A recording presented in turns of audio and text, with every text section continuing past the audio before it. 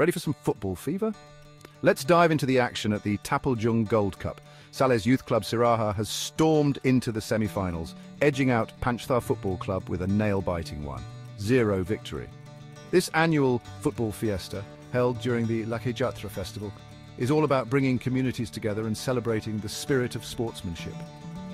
Eight stellar teams, including a squad from Taplejung, are battling it out at Panujan Secondary School's sports ground. With roaring crowds and high stakes, the atmosphere is electric. Siraha now gears up to face the winner between Kathmandu and Jhapa on the 6th of Bhadra. What's up for grabs? A trophy, medals, certificates, and a whopping cash prize of Rs 250,555. And that's not all. Standout players will also receive special prizes. Tickets are selling like hotcakes, just Rs 100 for the quarterfinals, Rs 200 for the semis, and Rs 250 for the grand final. A temporary parapet ensures spectators get the best view of the action. Stay tuned and cheer on your favourite team in the Taplejung Gold Cup.